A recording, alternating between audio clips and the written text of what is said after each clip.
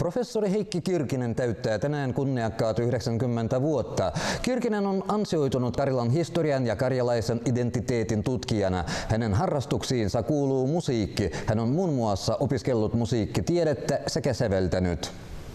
Heikki Kirkinen on Itä-Suomen yliopiston historian emeritusprofessori. Hän vaikutti merkittävästi Joensuun korkeakoulun tuloon ja sen kehittymiseen yliopistoksi ja on toiminut Joensuun yliopiston rehtorina sekä Sorbonnen yliopiston suomen kielen kirjallisuuden ja kulttuurin vierailevana professorina.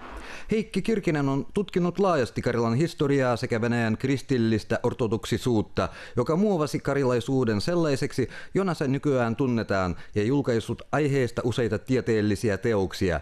Hän aina puhui kalevalaisen perinteen säilyttämisen puolesta. Karilan tutkijana ja kehitysaluepoliitikkona professori Heikki Kirkinen kertoo kalevalaisen kulttuurin olevan karilaisen kulttuurin vanhin kerrostuma.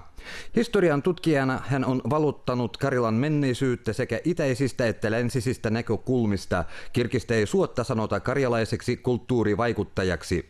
Kun Venäjän ja Neuvostoliiton historia ilmestyi vuonna 1986, se oli ensimmäinen suomalainen tieteellinen yleisesitys aiheesta yli sataan vuoteen. Teoksen päätoimittajana on toiminut professori Heikki Kirkinen. Professori Heikki Kirkisen kunniaksi joka toinen vuosi pidetään juhlaesitelmä, joka käsittelee Euroopan ja sen alueiden historiaa, kulttuuria, taloutta tai politiikkaa. Kirkinen on myös karjalaisen kulttuurin edistämissäätiön kunniajäsen sekä Petorskoin valtion yliopiston Onnea tohtori!